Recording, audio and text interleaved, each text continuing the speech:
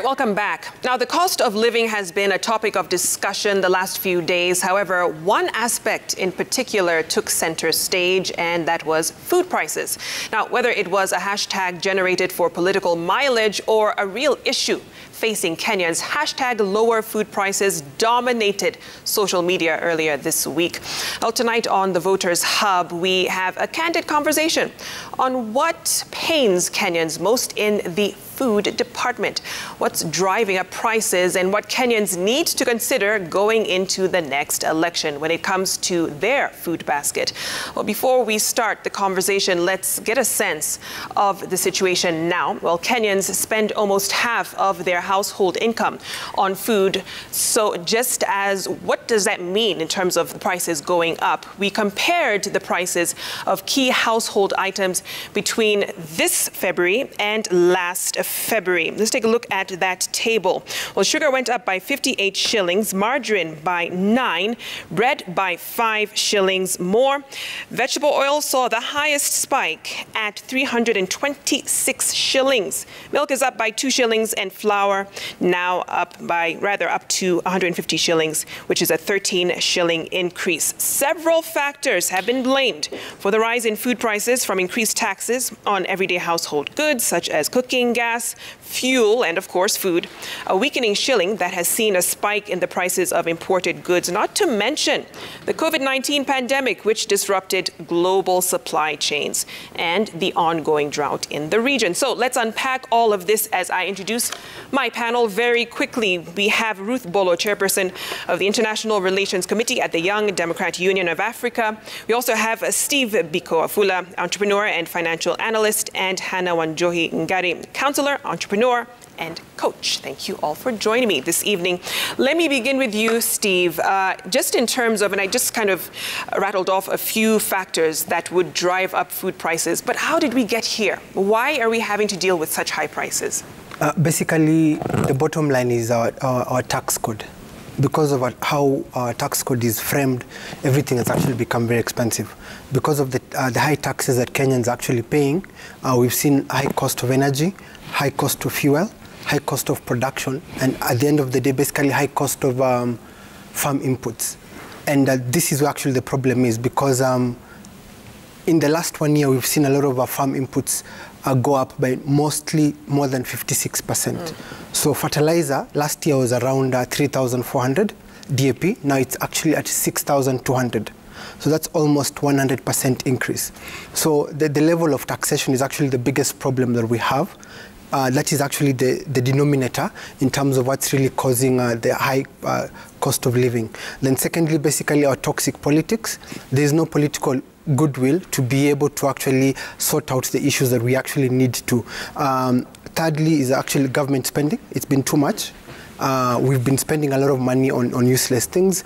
Uh, we've been increasing uh, what, we, what I would call the debt ceiling in terms of our borrowing too high. And then basically fourth is corruption. I mean, we have two, two billion shillings lost every, every single day.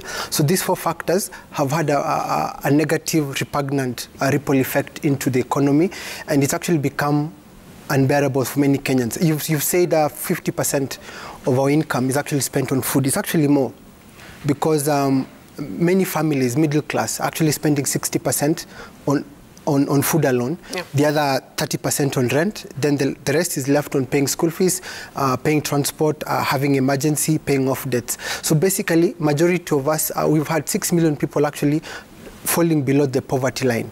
And um, not to mention climatical changes that we've, we've seen locally in, in the country and globally, it's going to have a, a more uh, negative impact on, uh, on our food prices because um, traditionally the food basket counties in, in North Rift, South Rift, and Western Kenya are no longer producing enough to actually sustain the food demand in the country. And we've seen the National Cereal Board actually saying that they do not have a single bag of maize in the reserve. So we're actually staring at a, at a bleak future in terms of our food security. You know, um, Ruth, Steve talked about the tax code. I mean, that's a, a fiscal policy issue. And, and, many times you'll find whenever these things are, are developed or put together, um, it kind of profits just a small few, you know, a small number of people, but it doesn't impact Kenyans who, at the end of the day, we're the ones who end up paying those high food prices. So really, who you vote for matters. You know, what should people be thinking about when it comes to, you know, the politicians that they put in office, who will then put together a lot of those policies that will affect their everyday lives?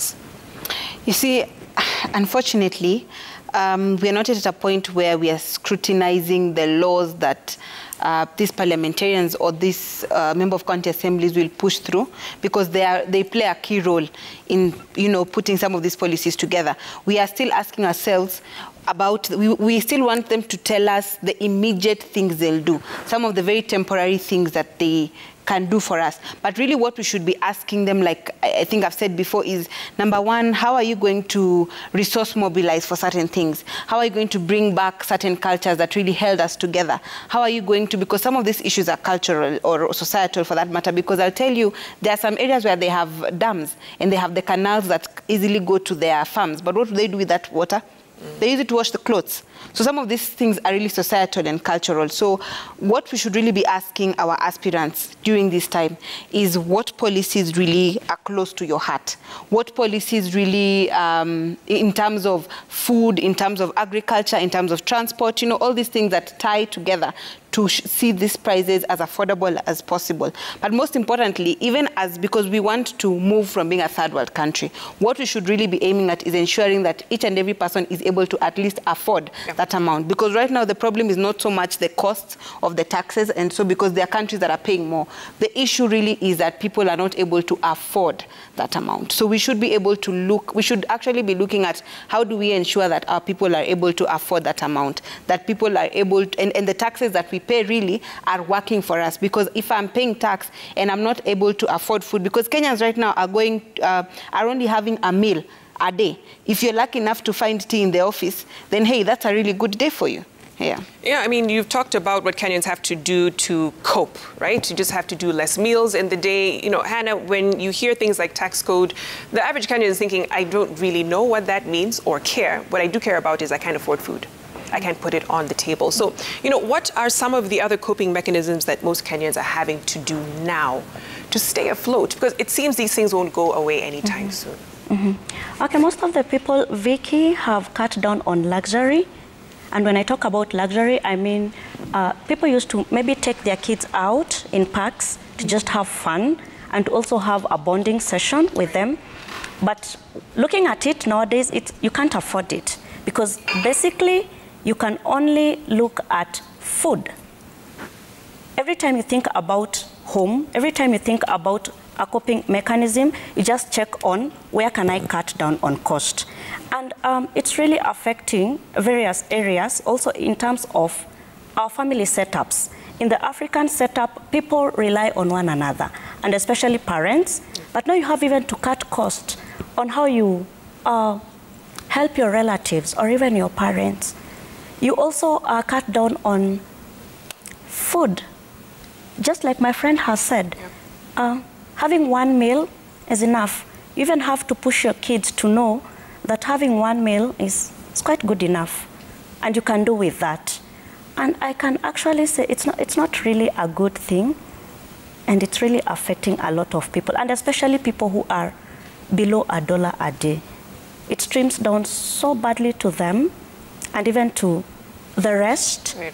And it's, it's, it's, it's a sad story. Yeah, it's a sad story. You know, Steve, so we've talked about everything that is wrong with the situation, right? And the hashtag was lowering food prices. How do we do that practically? Uh, well, unfortunately, sorry, unfortunately, uh, for the next decade, we're not going to be able to lower the food prices unless, one, we, we have one opportunity in August to actually elect the right leadership. And uh, whoever becomes president will have a problem in terms of trying to get uh, wiggle room for them to be able to lower the taxes right. that will be required to actually to one zero rate the farm inputs. Because for us to have affordable food products we need to actually one zero rate the taxes in, in terms of our farm inputs. That is one. Two we need to actually lower the cost of energy and cost of fuel because of uh, uh, so that we can be able to enable farmers access markets affordable. And basically three creating access of credit to farmers to be able to give them uh, the impetus to actually farm. Because this year, I doubt many of the farmers are going to farm because of the expensive uh, farm inputs. And then also secondly, looking at the climatical changes that you're actually seeing, uh, many of the arable areas are no longer uh, conducive for farming. And this is a big problem. And this is one of the things that are actually the political class needs to actually address. How do you protect arable land from actually turning it into real estate and construction? Because uh, key key counties like Kiambu have actually turned from co-farming uh, practices into real estate. And this is actually a very big problem because now we, we are straining the little arable land in, in, in, terms of being able to feed the rest of the country. And we are seeing projects like Galana are no longer actually active. We're seeing corruption gaps.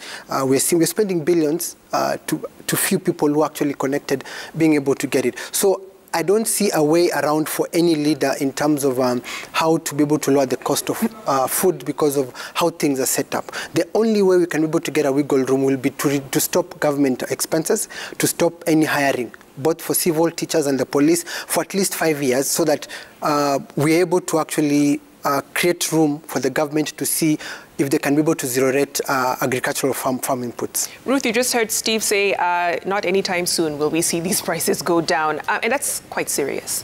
When you think about people not being able to feed themselves, something so basic, what are the implications uh, you know, of that if it's not solved in good time? Um, allow me a second before I dive into that. Just to add on to what Steve has said, we need to bolster Kenyans' participation in this. Yeah. Because I know we are saying, we're talking a lot of uh, government input, but citizens equally have a role to play. Mm. There's a lot of wastage that goes into food production, uh, right from, you know, not just in terms of our consumption, but in the production of it, while we are transporting it, you know, the retail part of it. So we need to see how do we reduce this wastage and how can we turn this around. Um, how, what are some of the modern methods that we can use. And it's not just farming. Uh, it's not just agriculture, rather. I know we have a lot of livestock, or rather we used to. But nowadays, uh, livestock is only left for dowry payments. Rarely do you hear someone saying, I need to invest in, in dowry. I need to ensure that my cows, you know, uh, procreate. So to your question on the implications, number one, you're going to lose a generation because unlike um, several years back where students used to run to school so that they can be able to have a meal, now even that meal we used to say is not enough is not there. So we're going to lose, one, a generation, out of starvation, and two, we are going to lose an uneducated generation. Because what then is going to happen is, why do I need to go to school if, like we've seen in the news, I only have one teacher in the school, I don't have a meal. I need to at least help my mother, who most probably has arthritis, you know?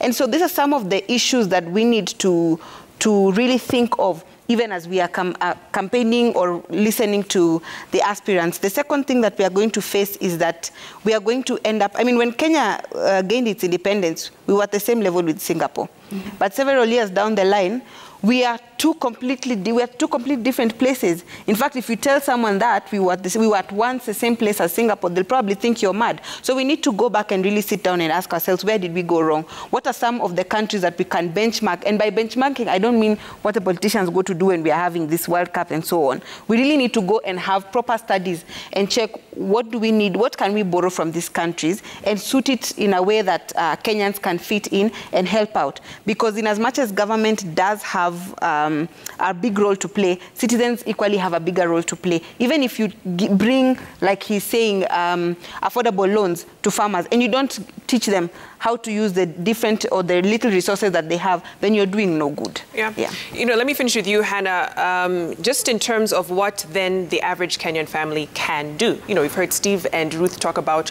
maybe from a policy, governmental standpoint, but, you know, people have to cut back. That's just the reality. We had COVID that literally took our budgets out of the loop, you know, and, and now we have to think about what are we spending on, what can we cut back on. You're the budgeting queen, that's why I have you here on yeah. the panel. But what would you actually tell people to do?